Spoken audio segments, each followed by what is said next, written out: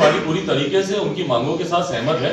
हम लोग खुद इस बात को मानते हैं कि एक ही तरीके के काम के लिए, दो तरीके के मापदंड उचित नहीं है। अगर आप एक ही तरीके का काम कर रहे हो, उसके लिए दो अलग अलग वेतन हो। और नियोजित शिक्षकों का मामला ये जिस तरीके से बिहार में बड़ी संख्या में शिक्षक सड़क पर हैं, ये भी हम लोग के लिए चिंता का विषय है। और लोक जनशक्ति पार्टी उनकी मांगों के साथ पूरी तरीके से सहमत है, बट उससे ज़्यादा चिंता हम लोग इस बात की भी है कि नियोजन पे आपको शिक्षकों को लेने की ज़रूरत ही क्यों पड़ती है? जितनी खाली वैकेंसीज हैं जिसके लिए बजट ऑलरेडी एलोकेटेड है उन रिक्त पदों को भी भरा जाना चाहिए। आप जिलों में चले जाइए हम लोग खुद दिशा की बैठक लेते हैं जितने हमारे सांसद हैं वो भी सहमत होंगे। हम लोग जब जिला में जाकर जब हम लोग दिशा की बैठक लेते हैं कितने ऐसे रिक्त पद हैं? शिक्षक अवेलेबल नहीं है वहाँ पर डॉक्टर्स अवेलेबल नहीं है महिला डॉक्टर्स तो ना के बराबर किसी भी ज़िले में अवे, अवेलेबल होती हैं। तो रिक्त पदों को भी भरा जाना प्राथमिकता के आधार पर, अगर उसी को भरा जाएगा तो ये नियोजन के माध्यम से शिक्षकों को हम लोग को लेने की ज़रूरत ही नहीं पड़ेगी।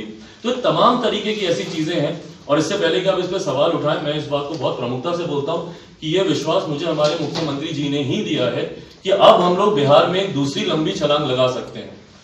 पिछले पंद्रह सालों में एक मज़बूत नींव हमारे मुख्यमंत्री जी ने हम लोग को तैयार करके दी है।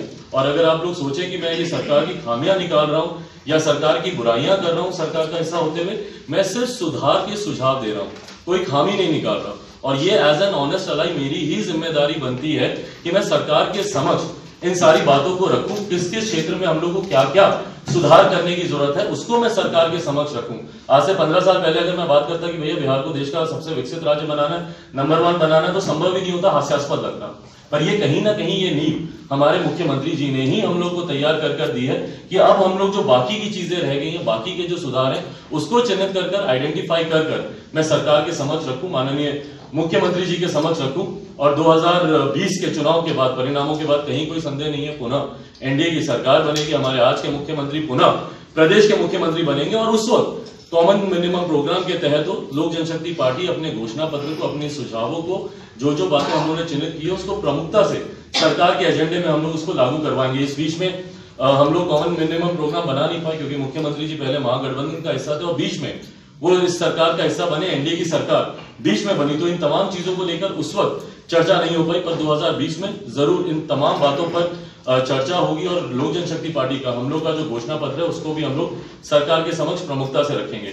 इसी क्रम में, क्योंकि 2020 ये चुनावी साल भी है लोक जनशक्ति पार्टी उसको लेकर भी पूरी तरीके से तैयारी कर रही है। हम लोग दो सौ सारी विधानसभा सीटों पर हम लोग तैयारी कर रहे हैं। हर सीट पर संगठन को मज़बूत करना ये हम लोग की प्राथमिकता है। जितने संभावित प्रत्याशी हैं, उनको लोक जनशक्ति पार्टी के संसदीय बोर्ड द्वारा ये दिशा निर्देश दिए गए हैं कि आप लोगों को तीन मापदंड पर आप लोगों को काम करना है।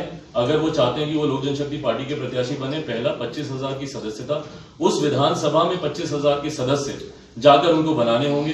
बूथ कमेटी उनको प्रदेश संसदीय बोर्ड के सामने रखनी होगी। और तीसरा और सबसे महत्वपूर्ण विषय उस विधानसभा का घोषणा पत्र लोक जनशक्ति पार्टी 14 अप्रैल को तो हम लोग घोषणा पत्र प्रदेश भर का पार्टी के द्वारा रिलीज़ किया ही जाएगा, पर जिस जिस विधानसभा में लोक जनशक्ति पार्टी चुनाव लड़ेगी, उस विधानसभा का भी घोषणा पत्र हम लोग रिलीज़ करेंगे।